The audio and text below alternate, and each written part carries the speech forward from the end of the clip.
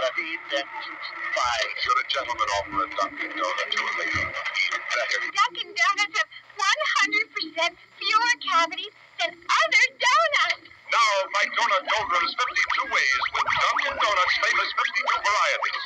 Any resemblance between this commercial and other commercials you may have seen is purely coincidental. And any comparison between Dunkin' Donuts and other donuts or donut shops is purely absurd. No one makes donuts as light and delicious as Dunkin' Donuts. Why not hop in your car right now and drive over to get some?